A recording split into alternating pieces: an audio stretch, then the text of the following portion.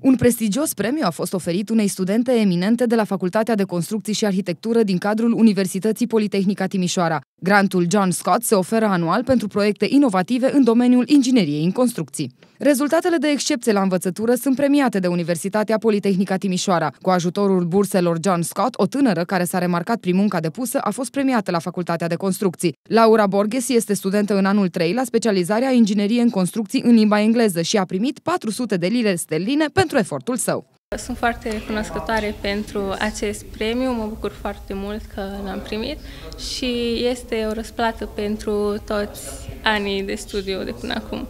John Scott a fost un reputat specialist în inginerie structurală și a ajuns pentru prima dată în Timișoara în anul 1991. Atunci a început o fructuoasă colaborare cu Universitatea Politehnica Timișoara și a susținut studenții cu burse de studiu în Marea Britanie. De asemenea, a fost fondatorul fundației Scottish Romanian University Exchange, menită să susțină învățământul tehnic în limba engleză. După moartea sa, a lăsat moștenire facultății de construcții 180.000 de lire sterline pentru asigurarea educației în limba engleză și pentru oferirea de burse studenților UPT. Se focalizează activitatea acestei fundații pe ingineria structurală și acordă premii pentru cea mai bună lucrare de diplomă, de exemplu, Uh, pentru acordă ajutor financiar pentru uh, studenții uh, români care beneficiază de mobilitățile programului Erasmus la ora actuală și care are numai o finanțare parțială a prezenței lor în Marea Britanie la Universitatea din Edinburgh, una din universitățile prestigioase care